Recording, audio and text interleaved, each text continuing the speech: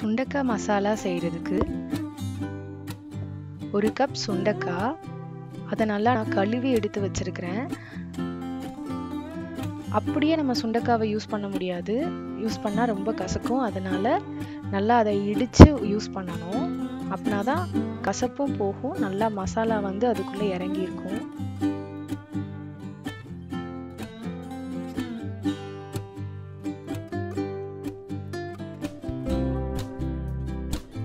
மசாலா அரைக்கிறதுக்கு கால் கப் தேங்காய் ஒரு மூணு நிமிஷம் நல்லா வதக்கிட்டு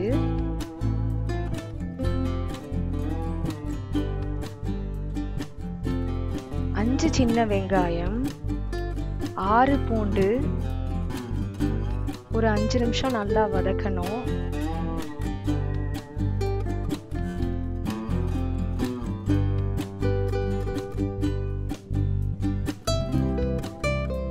கொஞ்சமாக மிக்சி ஜாரில் மாற்றிட்டு கொஞ்சமாக தண்ணி சேர்த்து நைஸாக பேஸ்ட் மாதிரி அரைச்சி எடுத்து வச்சுக்கோங்க. இப்போ நல்லெண்ணெய் ஒரு டேபிள் ஸ்பூன் கடுகு அரை ஸ்பூன் கருவேப்பிலை கொஞ்சம் புரிஞ்சதுக்கப்புறம் இடித்து வச்சிருக்கிற சுண்டக்காய் ஒரு கப்பு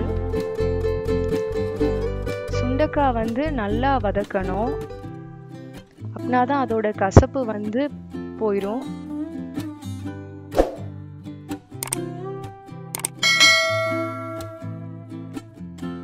வதக்கினதுக்கு அப்புறமா பச்சை மிளகாய் நாலு பூண்டு ஒரு பத்து பல் ஒரு ரெண்டு நிமிஷம் வதக்கணும்.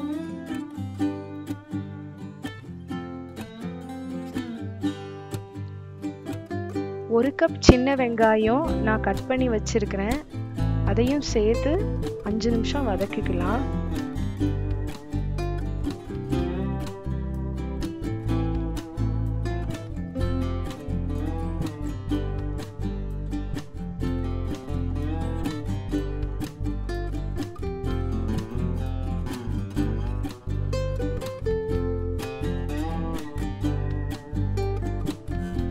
நாலு தக்காளி நான் நறுக்கி வச்சிருக்கிறேன். அதையும் சேர்த்து ஒரு ரெண்டு நிமிஷம் வதக்கணும். மசியணும்னு அவசியம் இல்லை. சாம்பார் பொடி ஒரு டேபிள் ஸ்பூன். உப்பு தேவையான அளவு. நல்லா மிக்ஸ் பண்ணிட்டு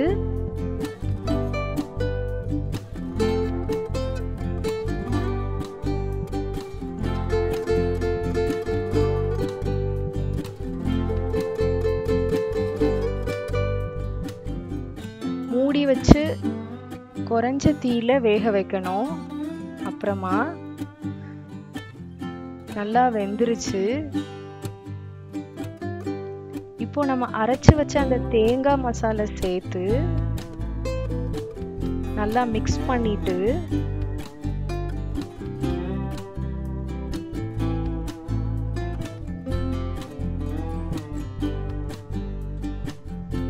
மூடி வச்சு ஒரு ரெண்டுலேருந்து மூணு நிமிஷம் வேக வைங்க.